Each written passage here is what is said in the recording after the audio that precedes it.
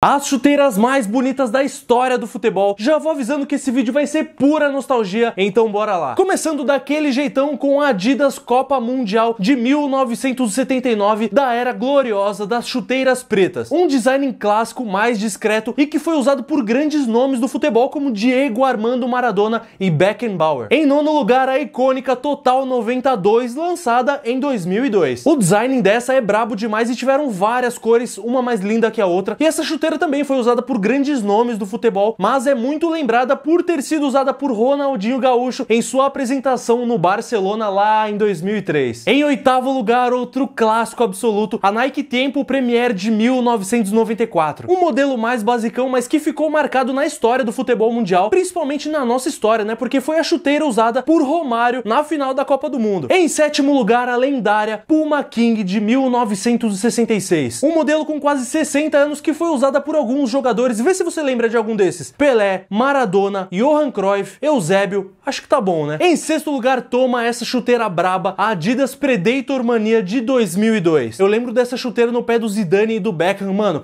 absurda demais. Esse modelo foi usado pelo Zidane na final da Champions League que ele meteu aquele gol de voleio. Mano, braba demais. E em nosso quinto lugar, outra chuteira icônica de 2002, a Nike Mercurial de Ronaldo Fenômeno. Uma chuteira que já tinha um design mais futurista, toda prata com os detalhes em verde meio neon e o swoosh em preto. Mano, essa chuteira é absurda e foi a chuteira do Penta. Ponto. Em nosso quarto lugar, a primeira Nike Mercurial de 1998, que foi produzida exclusivamente para Ronaldo Fenômeno. Uma chuteira com design bem diferente, tanto na estética quanto na performance, né? Porque ela foi considerada na época a chuteira mais leve do mercado. E tem uma foto muito icônica que o contexto não é o melhor, né? Que foi quando o Brasil perdeu para a França na final, mas essa foto ficou muito marcada porque o Ronaldo Ronaldo, depois da derrota, colocou a chuteira pendurada no pescoço. E, mano, cê é louco, que chuteira braba. E finalmente chegamos no nosso top 3. E em terceiro lugar eu vou colocar essa daqui, que é uma das minhas favoritas, xodó demais. A Adidas Predator Absolute de 2006. Essa chuteira aqui é incrível, uma chuteira muito bonita. Na Copa de 2006 me marcou demais. E esse modelo na época foi usada pelo Riquelme, pelo Kaká, Balak,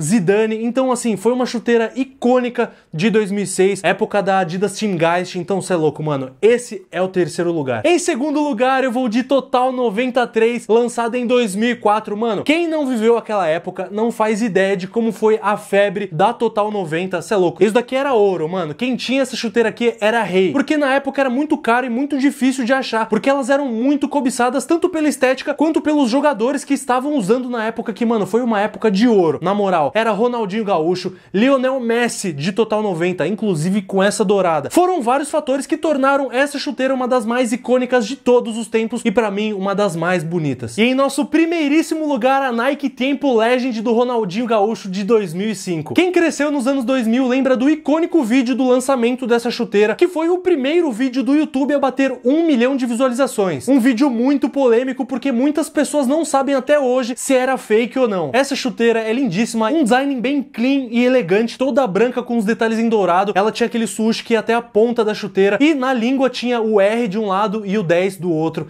Mano, cê é louco, esquece, essa chuteira é absurda. Infelizmente até hoje eu não consegui comprar essa chuteira, mas quem sabe um dia. Agora eu quero saber da lista de vocês. Comenta também qual é a sua chuteira favorita e qual vocês acham que faltou nessa lista. Eu vou ficando por aqui, um forte abraço e a gente se vê no próximo. Até mais!